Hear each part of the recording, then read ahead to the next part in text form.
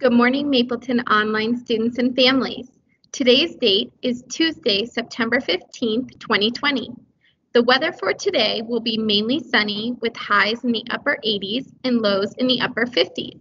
Please stand for the Pledge of Allegiance.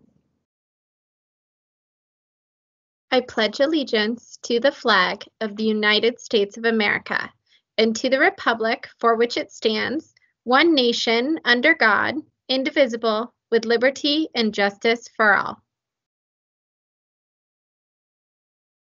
For our announcements today, we want to share that schedules have changed for K through 8 starting this week and 9 through 12 next week.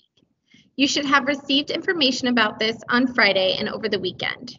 Your teachers have this information as well if you need. School starts at 9 o'clock and ends at 2 o'clock. Also, special schedules have switched as well. Even grade numbers, so kinder, second, fourth, sixth, and eighth grade, have art this week.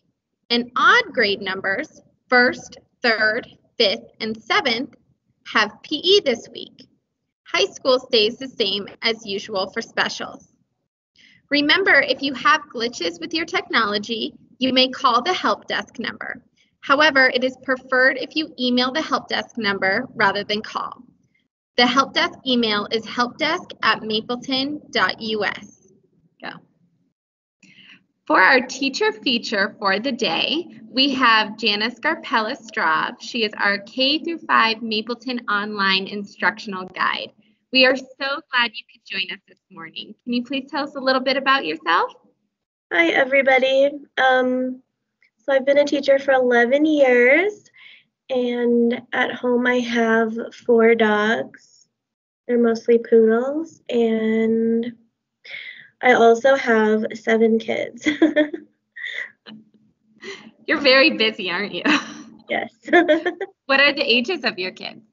They are um, 16, 15, 8, 7, 6, 3, and then I have one that's actually going to be four this week. Oh, well, happy birthday to your four year old. Thank you. That is so exciting. We are so excited to have you here at, at Mapleton Online with us. I'm so excited. now we have our would you rather question.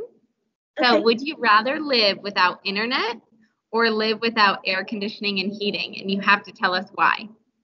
Can I move?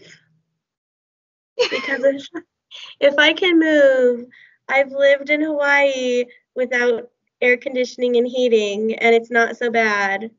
Um, but I think that if I had to live in Colorado and I couldn't move, I think I'd have to go with no internet because I'm pretty sure, oh my gosh, it would be pretty awful if you didn't have heat in the winter. And it can be pretty awful to not have air conditioning in the summer too. They're both uncomfortable.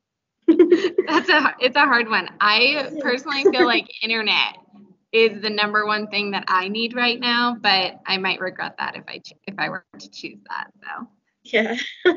okay, well thank you so much, Miss Garpella Straub, and we will see you soon. Hey, bye everybody.